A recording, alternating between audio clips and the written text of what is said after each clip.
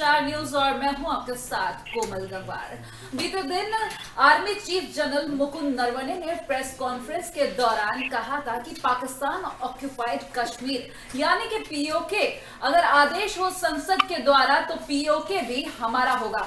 कश्मीर पूरा का पूरा हमारा है, लेकिन अभी पाकिस्तान के द्वारा कश्मीर को हथियाया गया है। अगर आदेश हो जाए तो हम कश्मीर को पूरा अपना बना लेंगे। और इसी पर बातचीत करने के लिए हमारे साथ रक्षा विशेषज्ञ प्रफुल्ल बख्शी जी जुड़ चुके हैं। जी प्रफुल्ल जी आपका बहुत बहुत स्वागत है एबी स्टार न्यूज़ में।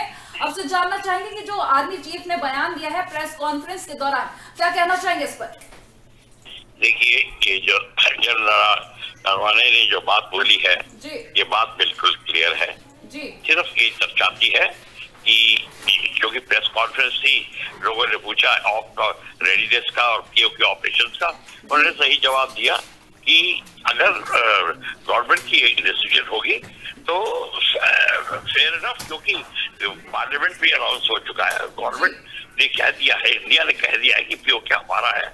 और एन अपॉर्चुन मूवमेंट जब सही समय आएगा, हम उसको लेंगे। तो सही समय का इंतज़ार है।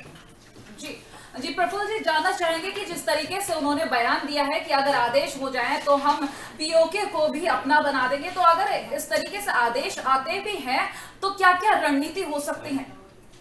देखिए आदेश जब होता है तो इसका मतलब ये नहीं कि गवर्नमेंट नहीं बता रही तुम लड़ाई कैसे करो।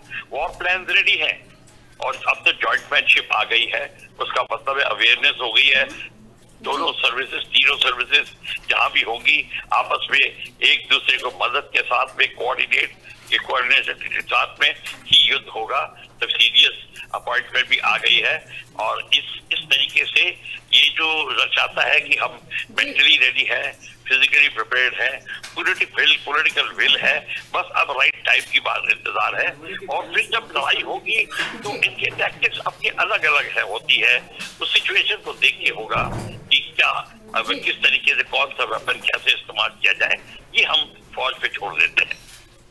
जी प्रफुल जी आगे जानना चाहेंगे कि जो आर्मी चीफ ने बयान दिया है उससे पाकिस्तान पर क्या असर रहा? क्या हलचल देखने को मिली वहाँ पर? क्योंकि पाकिस्तान शुरू से कहता हुआ नज़र आया है कि कश्मीर पर उनका अधिकार है और कश्मीर के लेकर काफ़ी तरीके के बयान देते रहते हैं वहाँ से लेकिन क्या असर देखने को मिला?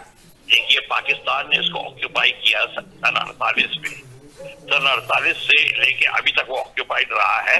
हमने उसको यूनाइटेड नेशन में ले जाके उस बात को जैसे वो कहते हैं जबान अपने आप ही दब गई। उसके ऊपर धूल जमने लग गई बात के ऊपर। अब देखिए सच्चाई जब सामने आ रही है तो सब क्लियर हो रहा है। पॉलिसीज़ क्लियर हो रही हैं तो जनता को अवगत कराने की ज़रूरत है आखिरी सवाल करना चाहेंगे क्या हम कयास लगा सकते हैं कि जल्द ही इस तरीके का कदम उठाया जा सकता है? देखिए ये कहना अभी करेक्ट नहीं होगा। ना ही इसे सोच जल्द कितनी जल्द। अब जल्द का मतलब कल कल नहीं हो सकता। जल्द का मतलब है कि जैसे तैयारी पूरी होगी जैसे जैसे कि 71 ऑपरेशन में जनरल जनरल साहब मानिक शॉ ने इंदिरा गांधी को बताया था उचित समय आते हुए ही हम आपको बता देंगे। इस समय हम तैयार हैं और फिर उचित समय में पोलिटिकल डिसीज़न हमको ग्रीन सिग्नल देगा फौज को। चलिए प्रफुल्ल जी, हमारे साथ जुड़ने के लिए बहुत बहुत धन्यवाद। तो ये था हमारे साथ रक्षा विशेषज्ञ प्रफुल्ल बख्शी। अब तक छोटे से ब्रेक का ब्रेक के उस पार खबर पर बने रहेंगे। तब रहिए डिस्टार न्यूज़ के साथ।